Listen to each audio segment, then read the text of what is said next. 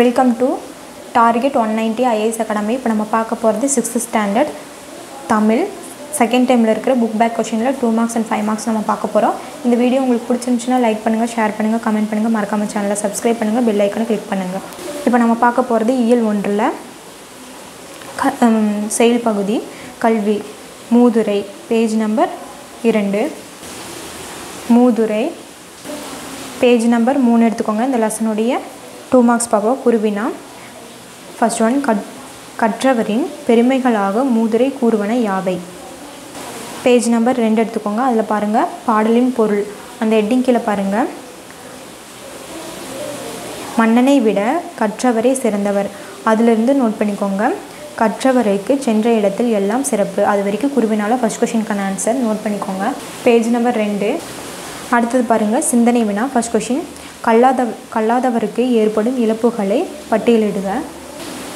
சிந்தனை வினால ஃபஸ்ட் கொஷினுக்கான ஆன்சர் பார்த்துக்கோங்க. அதில் ஒரு மூணு பாயிண்ட் கொடுத்துருக்காங்க. கல்லாதவர் எவராலும் மதிக்கப்பட மாட்டார். அதிலிருந்து நம்மை தீமைகளை பகுத்தறிய இயலாது. எல்லோராலும் இழக்கப்படுவார்.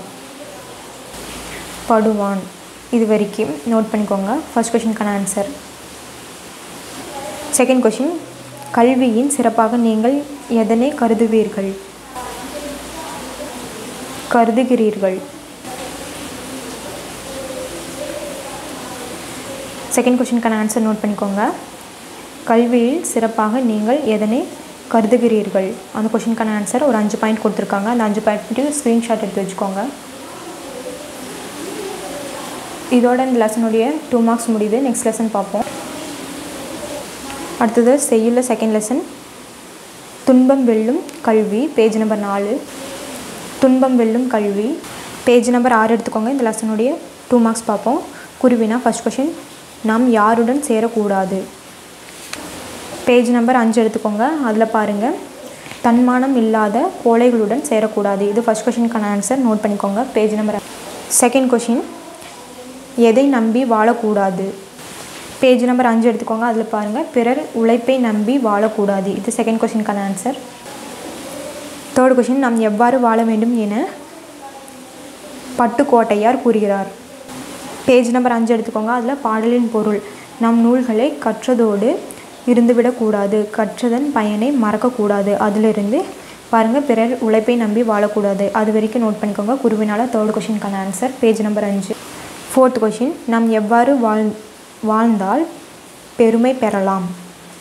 பேஜ் நம்பர் அஞ்சு எடுத்துக்கோங்க. அதில் பாருங்கள் மேலான அறிஞர்கள் கூறிய அறிவுரை அறிவுரைகளின்படி வாழ வேண்டும்.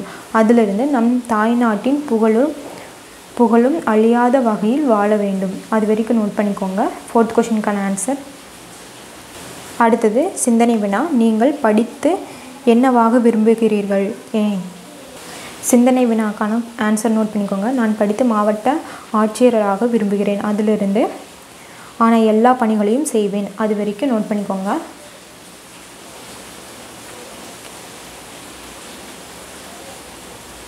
ஸ்க்ரீன்ஷாட் எடுத்து வச்சுக்கோங்க. இதோட இந்த லெசனுடைய டூ மார்க்ஸ் முடியுது. நெக்ஸ்ட் லெசன் பார்ப்போம். அடுத்தது உரைநடை. கண்ணென தகும் கல்வி கண் திறந்தவர். பேஜ் பேஜ் நம்பர் ஏழு. கல்வி கண் திறந்தவர். பேஜ் நம்பர் பத்து எடுத்துக்கோங்க. இந்த லெசனுடைய டூ மார்க்ஸ் பார்ப்போம். குருவினா ஃபஸ்ட் கொஷின் காமராசர் காலத்தில் தொடக்கப்பட்ட கல்வி நிறுவனங்கள் யாவை? பேஜ் நம்பர் ஒம்பது எடுத்துக்கோங்க. அதில் பாருங்கள் காமராசரின் கல்வி பணிகள். அந்த ஹெட்டிங் கீழே செகண்ட் பேரால் பாருங்கள் பொருளியல் கல்லூரிகள் மருத்துவ கல்லூரிகள். அதிலிருந்து புதிதாக தொடங்கியுள்ளனர். அது வரைக்கும் நோட் பண்ணிக்கோங்க. குருவினால ஃபஸ்ட் கொஷினுக்கான ஆன்சர் பேஜ் நம்பர் ஒம்பது செகண்ட் கொஷின் காமராசர் முதல்வராக பொறுப்பேற்ற போதும் கல்வி கல்விக்காக செய்த முதல் பணி யாது? பேஜ் நம்பர் ஒம்பது எடுத்துக்கோங்க. அதில் பாருங்கள் காமராசரின் கல்வி பணிகள். அது கீழே காமராசர் முதல் அமைச்சராக பதவியேற்ற நேரத்தில் ஏறக்குறைய ஆயிரம் தொடக்கப் பள்ளிகள் மூடப்பட்டு இருந்தன. அதிலிருந்து தீவிரமாக நடைமுறைக்கு நடைமுறைப்படுத்தினர். அது வரைக்கும் நோட் பண்ணிக்கோங்க. குருவினால செகண்ட் கொஷினுக்கான ஆன்சர் பேஜ் நம்பர் ஒன்று அடுத்தது சிறுவினா காமராசரின் கல்வி பணிகள் குறித்து எழுதுக. பேஜ் நம்பர் எட்டு எடுத்துக்கோங்க அதில் பாருங்கள் அப்போது மாணவன் ஒருவன் மயங்கி விழுந்தான். தண்ணீர் தெளித்து தெளித்து அவனை எழுப்பினார். அதிலிருந்து நோட் பண்ணிக்கோங்க. இதில் இந்த நிகழ்விற்கு பிறகு படிக்க வரும் மாணவர்களுக்கு ஒரு வேலை உணவானது வழங்க வேண்டும் என்று முடிவு செய்தார். மதிய உணவு திட்டத்தினை கொண்டு வந்தார். இது வரைக்கும் நோட் பண்ணிக்கோங்க. இது தேர்ட் கொஷினுக்கான ஆன்சர் இது சிறுவினால ஃபஸ்ட் கொஷினுக்கான ஆன்சர் நோட் பண்ணிக்கோங்க. அடுத்தது சிந்தனை வினா நீங்கள் முதல்வர் முதலமைச்சரானால் கல்வி முன்னேற்றத்திற்காக என்னென்ன திட்டங்களை வகுப்பீர்கள்? சிந்தனை வினாக்கான ஆன்சர் நோட் பண்ணிக்கோங்க. முன்னுரையிலிருந்து முடிவுரை வரைக்கும் நோட் பண்ணிக்கோங்க. இது வரைக்கும் ஸ்க்ரீன்ஷாட் எடுத்து வச்சுக்கோங்க. இதோட இந்த லெசனுடைய டூ மார்க்ஸ் முடியும்.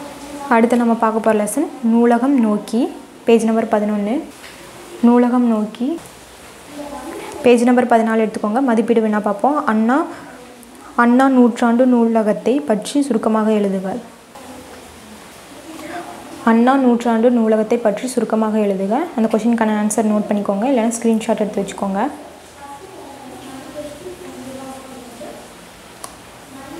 இது வரைக்கும்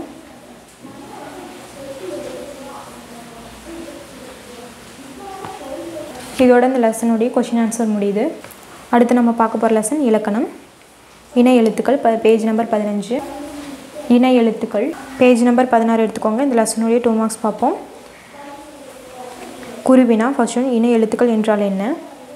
பேஜ் நம்பர் அஞ்சு பதினஞ்சு எடுத்துக்கோங்க. அதில் பாருங்கள் சில எழுத்துக்களுக்கு இடையே ஒழிக்கும் முயற்சி பிற பிறக்கும் இடம் ஆகியவற்றில் ஒன்றுடன் ஒற்றுமை உண்டு.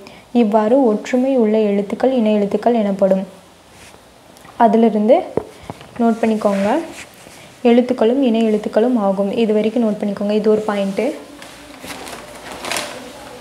பேஜ் நம்பர் பதினாறு எடுத்துக்கோங்க. அதில் குரில் குறில் குறில் எழுத்து இல்லாத ஐ என்னும் எழுத்து இ என்பது இணை எழுத்து ஆகும் அவ் என்னும் எழுத்து ஊ என்பது இணை எழுத்து ஆகும் இது வரைக்கும் நோட் பண்ணிக்கோங்க. குருவினால் ஃபஸ்ட் கொஷினுக்கான ஆன்சர் பேஜ் நம்பர் பதினஞ்சு பதினாறுலேயும் இருக்குது நோட் பண்ணிக்கோங்க.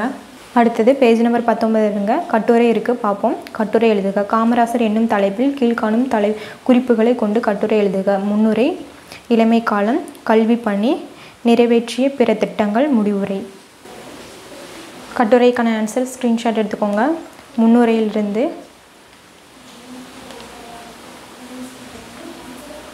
முடிவுரை வரைக்கும் நோட் பண்ணிக்கோங்க. இந்த கட்டுரைக்கான ஆன்சர் ஸ்க்ரீன்ஷாட் எடுத்து வச்சுக்கோங்க.